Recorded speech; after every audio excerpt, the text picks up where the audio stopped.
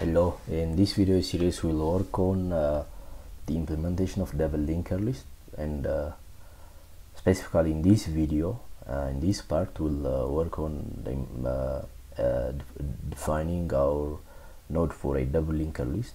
A double linked list node is required to include three attributes. The first one is info which will store the actual data and the second one is next which will store the address of the next node and the uh, third one is a previous uh, attribute uh, which will store the address of the previous node. And let's define those let, us declare those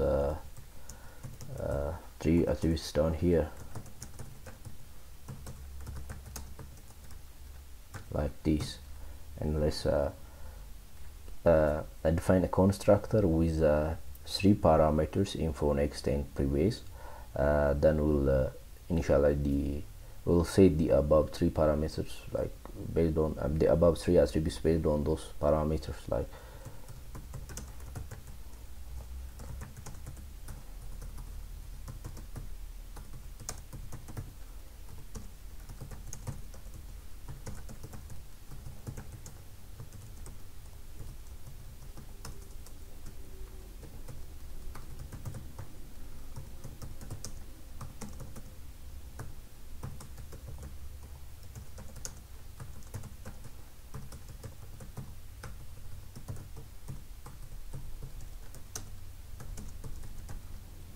okay.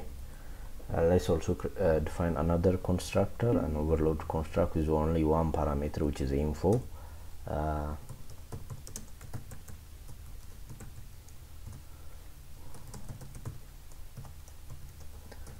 and then we'll invoke this previously defined uh, constructor to initialize the attributes and we'll pass null to both next and previous.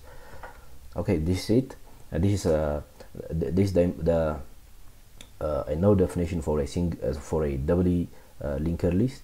And uh, from here we'll continue implementing other methods such as like isempty adding to it adding to tail remove from it remove tail like, i mean operations like that. Like we'll keep implementing those linked list operations. And for now have a good time and thank you for your attention